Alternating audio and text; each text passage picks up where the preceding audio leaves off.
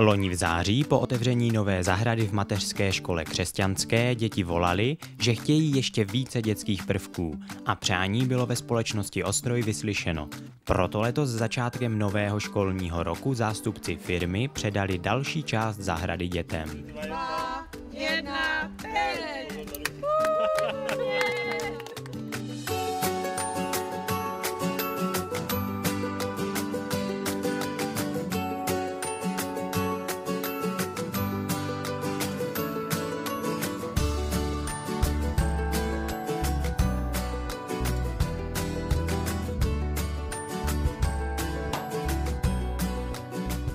Přibylo nám šest nových eh, prvků.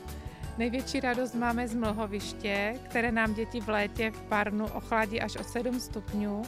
Je tam také 3D želová, eh, která je pro děti také zdrojem zdolávání překážek v terénu.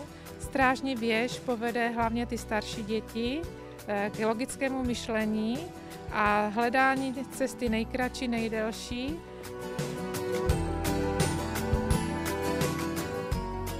I letos si na slavnostní otevření děti připravili představení, a to ve školce natáčíme teprve v druhý školní den.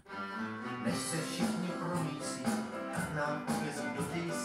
Já jsem paní učitelka, malá nejsem, už jsem velká. Tady přišlo strašně moc vody, přijdete nám pomoct, hasiči? Zástav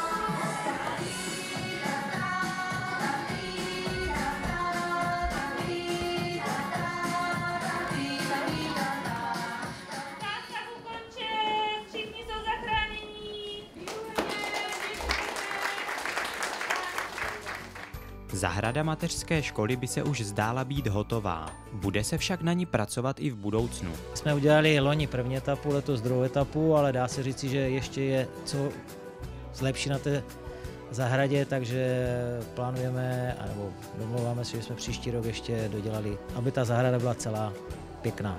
Společnost Ostroj se snaží podporovat celé spektrum vzdělávání od mateřských škol až po ty střední. My se snažíme už tady těmto městským dětem dát trošičku té příležitosti, aby se setkali s matematikou, s technikou a to je vlastně ten směr, který se prolíná jak tou spolupráci mateřskou, základní, střední školou. No a potom dál budeme rádi, když eh, děti, které se takhle eh, ošahají tu techniku, zjistí, že na to mají jak geny, tak je to baví, tak je to pro ně zábava, tak potom se stanou našimi kolegy. Na závěr jsme se těch nejmenších dětí zeptali, jestli vědí, co je to vlastně ostroj. To je taková e, kavalna, kde se vylabějí velké stroje. A nebo železa.